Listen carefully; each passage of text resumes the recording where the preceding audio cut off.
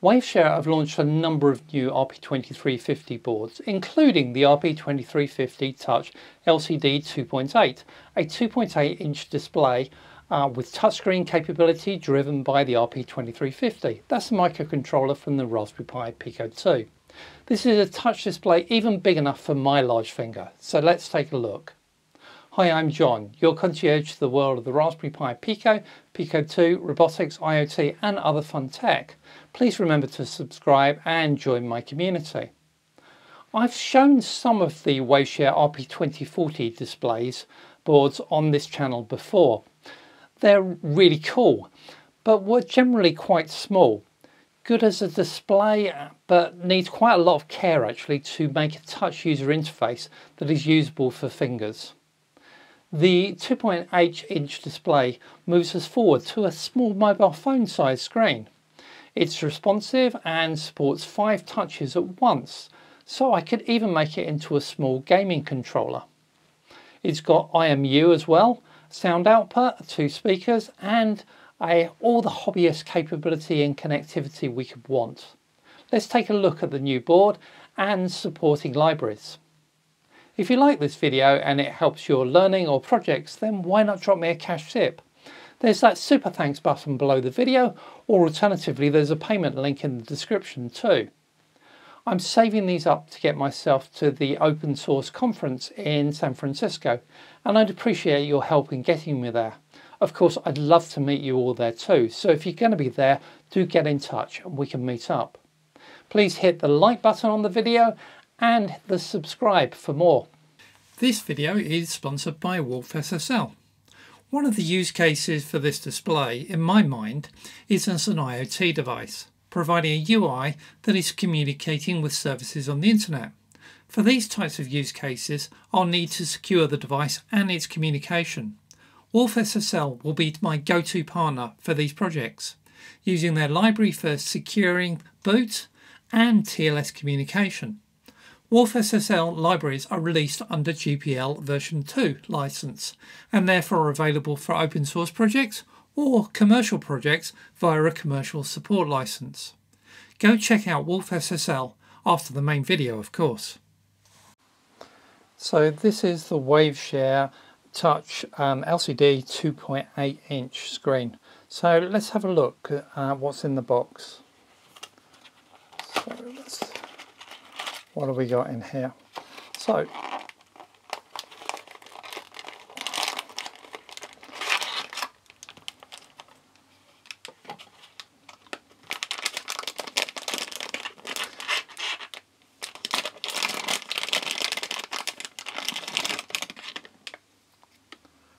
So we've got a screen, uh, the touch screen, and we've got uh, lots of uh, connectors off of it this is uh, much better than uh, some of the predecessor devices I've seen from Waveshare.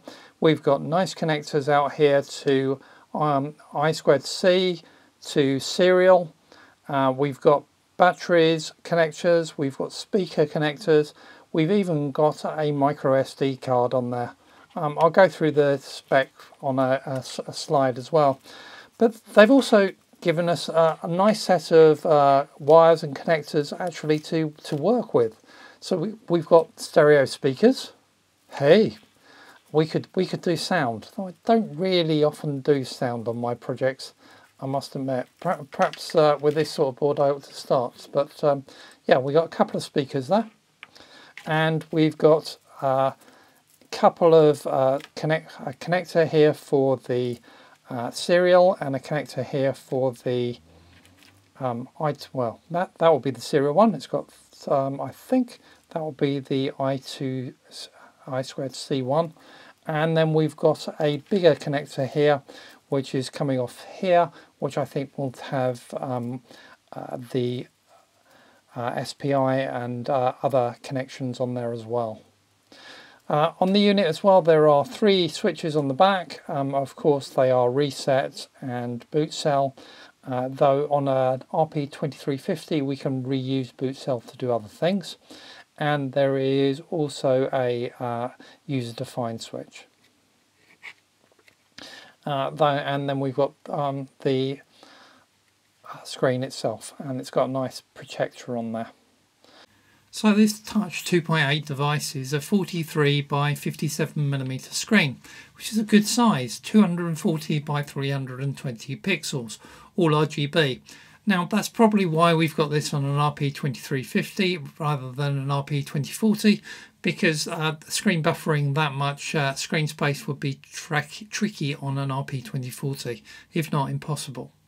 We're using the CST328 display driver and a CST816T uh, touch uh, driver.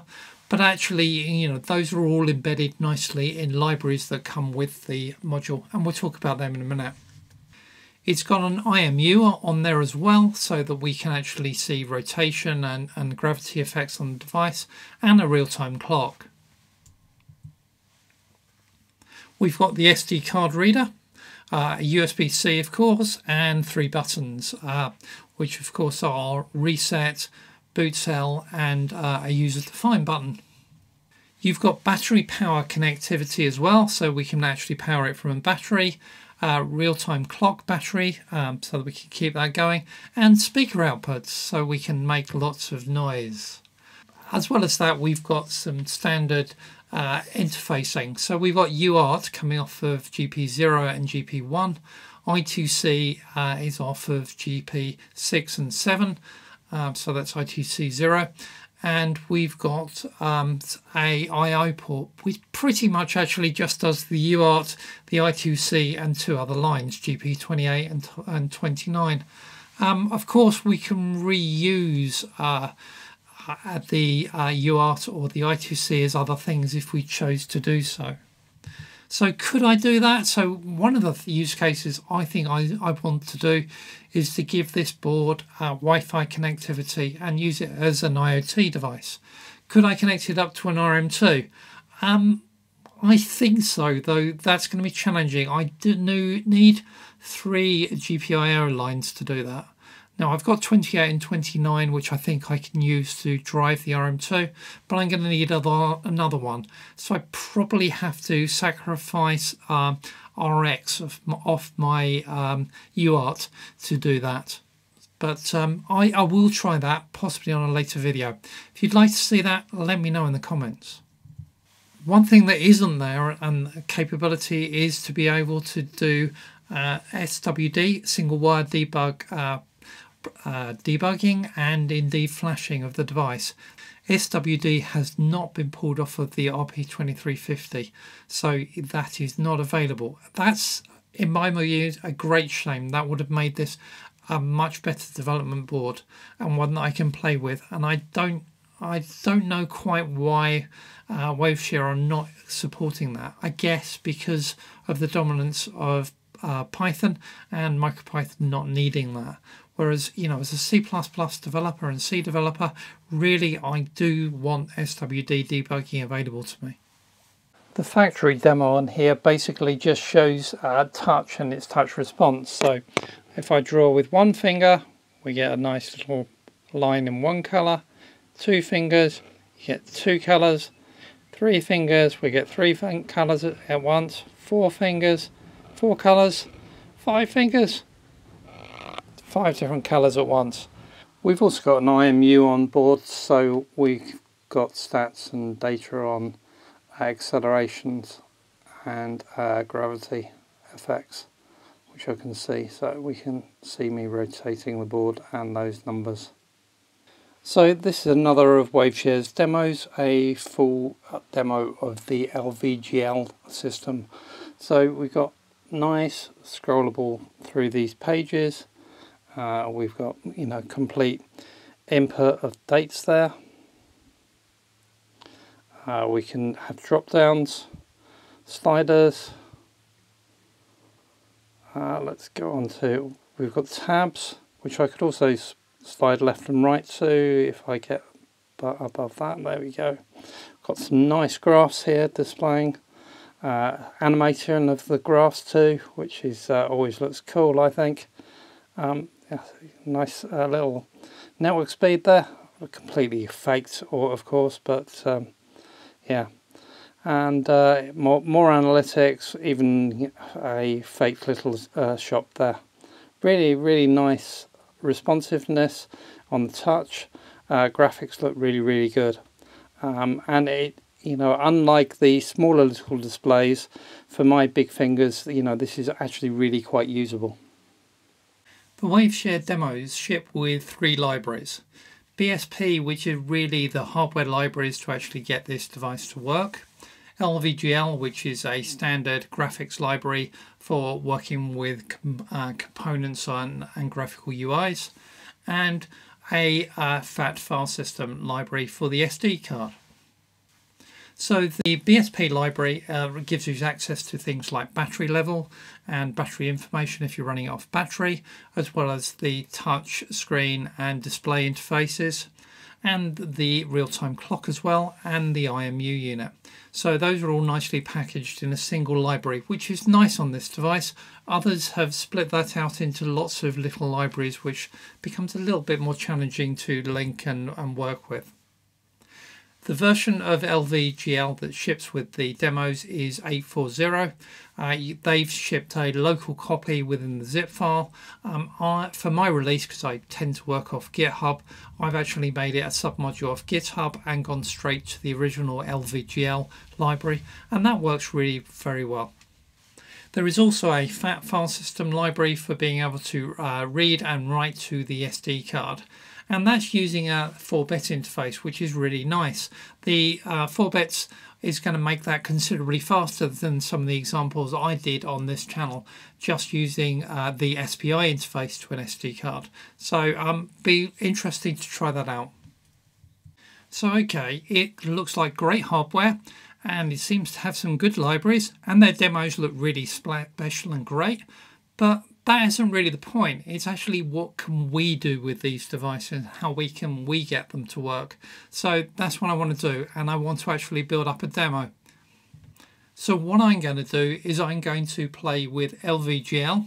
I'm going to do a little animation around uh, my company name, Dr. Jon EA. Now this is a previous demo that I've actually written for the RP2040 Touch. So what I was interested in is, is can I just lift those widgets, drop them in and it will all work? And the answer to that is yes. So let's just have a chat around a project structure built um, using the libraries that have been shipped from Waveshare. So I've got my libraries uh, in my lib folder. Um, not quite where they place theirs, but that's the where I wanted to place them. And we've got this BSP library, um, which is giving us basically access to all of the hardware. And that's just copied directly from the demo. Uh, the LVGL library I'm also using, but actually I've taken that directly from LVGL and uh, then pulled that to version 840 rather than uh, hard coding the copy that came with the demo. And I'm not using the SD card uh, reader in this for FAT32. So how about my example? How have I structured that? What have I set up? Well, I, I do what I normally do and have makefiles for each of my libraries. So I created a little uh, BSP makefile for the uh, BSP library, uh, which is giving us the battery and the display and um, the IMU uh, and uh, touch interface and all of those. And that's up there, that's pretty standard um, CMake structure really. And I have the same thing for LVGL and then that gives me the ability to uh, load those in um, as includes tell it where my library path is if it's not a lib directly underneath the project and it isn't in this case because my intention was to write several examples though I've only done one so far. And then I'm going to put a port folder because there is a bit of porting that needs to go on to LVGL. Um, and uh, these are files that are also taken from the demo and they provide uh, the porting to get LVGL working on this hardware. And we've got the configuration for it. The configuration you may want to change because there are things like if you wanted a different font size, then you need to update this. Or if you wanted to switch from portrait to landscape use of the display. So the actual program is in here and, and project is in here. And uh, we're again, I'm just using pretty much the what was in the demo for LVGL. We're uh, adjusting the clock speed. I think they're doing that in order to uh, change the speed for SPI talking to the um, the display itself. And uh, then we've got uh, all of the initialization code that gets run. And the only bit I'm changing in this is actually adding um, my widgets and uh, they're coming in from here.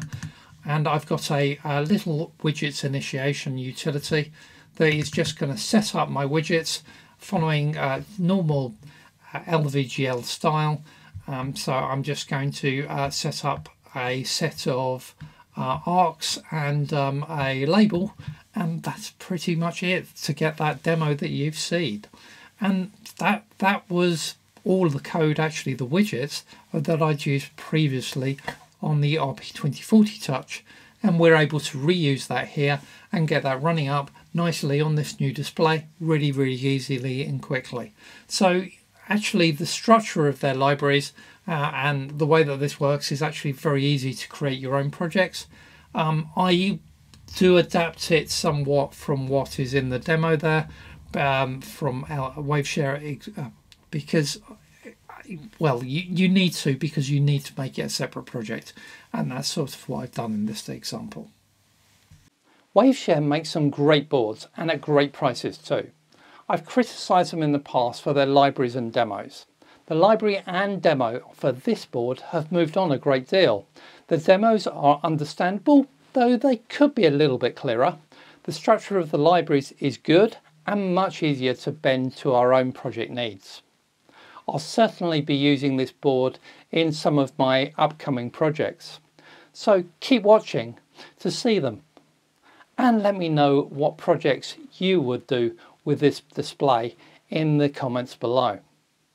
If you like this video and it helps your learning or your projects, then why not drop me a cash tip? There's that super thanks button below the video and there's a payment link in the description. Remember, I'm saving these up to get myself to the open source conference in San Francisco and I'd appreciate your help in getting me there and of course I'd love to meet you all there too. Thank you very much for watching and I will see you on the next video. Bye bye.